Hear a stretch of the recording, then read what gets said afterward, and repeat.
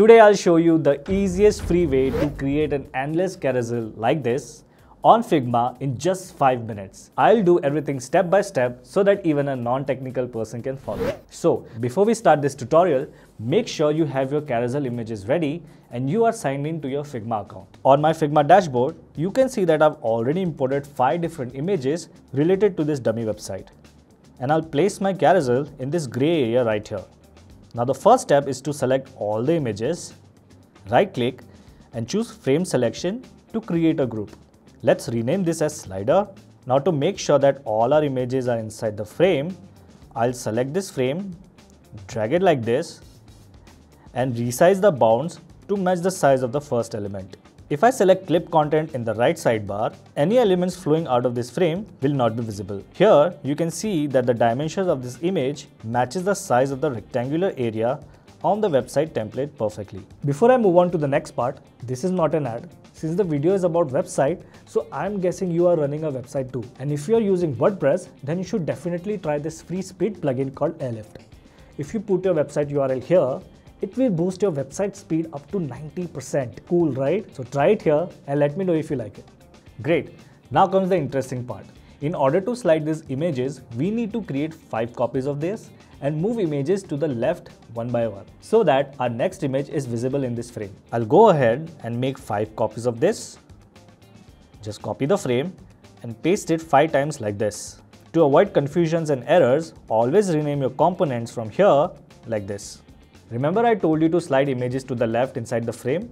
We'll do that now. So I'll select the second frame and uncheck clip content from here and slide the second image in the center like this. Once done, go here again and click on clip content. Now I'll do the same thing for the remaining frames and once done, it will look something like this. Awesome, our slider is ready. Now the next part is very important because it creates a foundation for the prototype. Basically, we are going to combine these frames and let Figma know that these frames are one set and after we add prototype to it, it will automatically create a slide effect on this set, hence creating a carousel. So I'm going to select these 5 frames, go on top, click on this icon and hit create component set.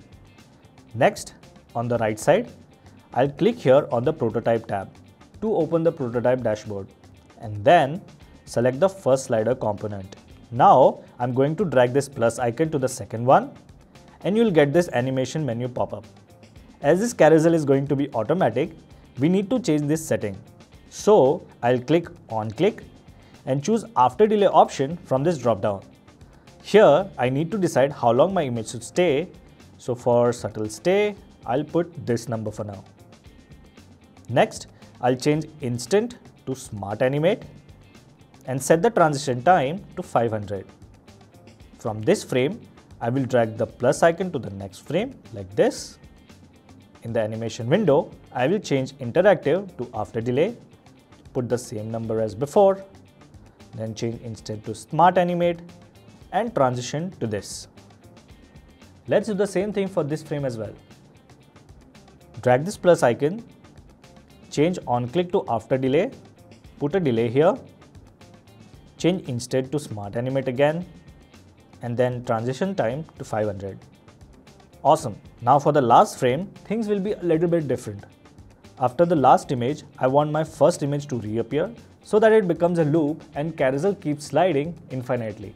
So I'll drag this plus icon and move it to the first component like this. I'll apply the same interactive details here as well.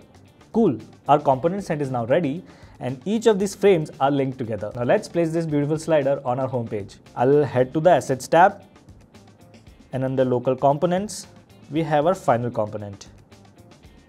So I'll drag this component to the website layout and place it here in the center like this. Perfect. Now let's see how this will appear as the final output. I'll go on top and click on this icon to preview it. Go here on the right and click fit to screen. Okay, this looks good. Images are sliding fine. The delay is fine too. And yeah, loop works perfectly. Comment below if you are loving these Figma tutorials and give it a like if you found this helpful. In this 3 minute video, I'll show you a free plugin to triple your site speed. You're really gonna thank me for this, so click here and I'll see you there.